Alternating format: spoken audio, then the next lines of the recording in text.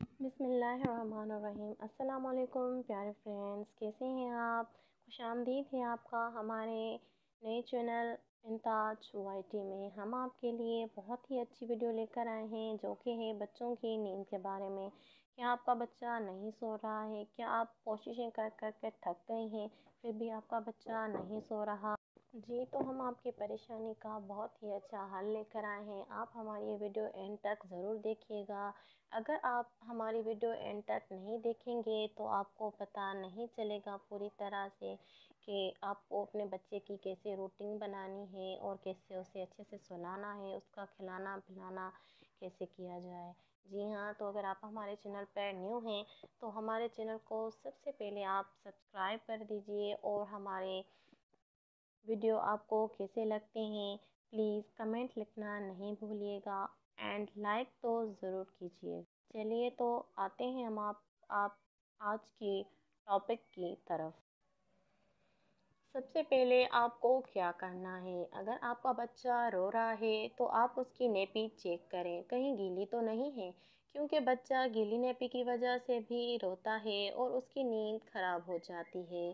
और उसका बिस्तर गीला होता है तो उसके लिए भी बच्चे को नींद नहीं आती और वो उठ जाता है और उसको फिर आसानी से नींद नहीं आती और उसकी वजह से आपकी भी परेशान हो जाती हैं और आपकी भी नींद नहीं आती।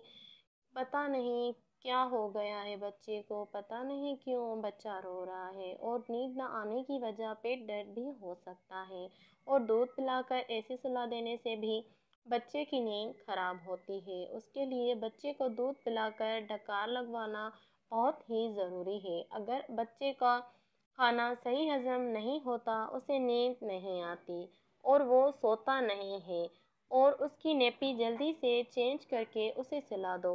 वरना अगर उससे आप बात करेंगे, उसे हंसाएँगे या खेलेंगे उसके साथ तो उसकी नींद ख़त्म हो जाएगी और वो आसानी से फिर नहीं सोएगा। जब आप बच्चे को सुलाने लगते हो तो उसका बिस्तर गीला नहीं होना चाहिए। बिल्कुल साफ़ होना चाहिए। और सबसे अहम बात, अपने रूम का बल्ब बंद कर दें, क्योंकि बच्चे को रोशनी में नींद भी नहीं आती।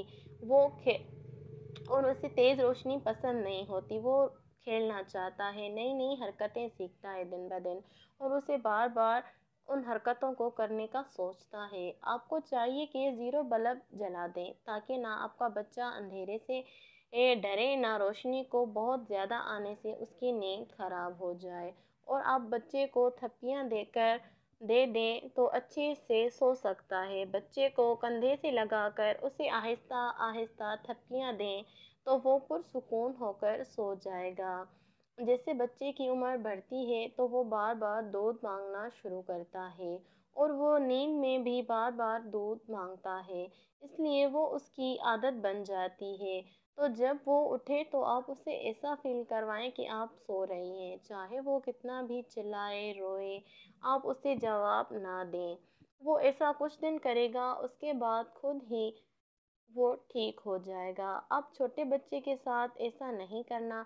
क्योंकि उसे जल्दी जल्दी भूख लगती है और जो बड़े बच्चे, ये जो है बड़े बच्चों के लिए है। उसे आप सोने से पहले कोई ठोस चीज़ खिला दें तो भी वो दूध नहीं मांगेगा, क्योंकि ठोस चीज़ खाने से उसका पेट भर जाता है।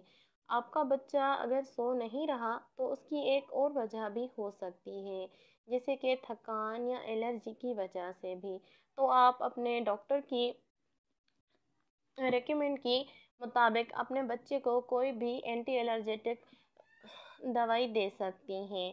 अगर आप कहीं बाहर गए हैं पार्टी में या शादी में कहीं भी तो उसके नींद ना आने की वजह थकान भी हो सकती है। तो आपको क्या करना है? उसके जिसम की मालिश करनी चाहिए। आप उसकी जब अच्छे से मालिश करेंगी उसका मसाज करेंगी और उससे उनके उसके हाथ पाँव अच्छे से दब, दबाएँगी तो वो पुरसकून होकर सो जाएगा। और सबसे अहम बात मैं आपसे कहूँगी कि आपको अपने बच्चे को सुलाने की रूटीन जो है बचपन से ही बना लेनी चाहिए ताकि जब वो बड़े हो जाते हैं तो फिर भी उनकी वही रूटीन हो। अगर आप अपने बच्चे की रूटीन बचपन से ही बिगाड़ के रखती हैं तो वो बड़ा होकर भी ऐसे ही नींद नहीं करता, वो देर तक जागता रहता है, खेलता रहता है। तो मेरी आपसे ये गुज़ारिश है कि जब आपका बच्चा बहुत छोटा होता है, एक मंथ एक मंथ का तो आपको तब से ही उसकी ये रूटीन बना लेनी चाहिए। उम्मीद है कि आपको आज की हमारी ये वीडियो पसंद आई होगी। सबसे पहले आप हमारे चैनल को सब्सक्राइब कर दिए दीजिए और लाइक, शेयर एंड कमेंट लिखना नहीं भूलिएगा।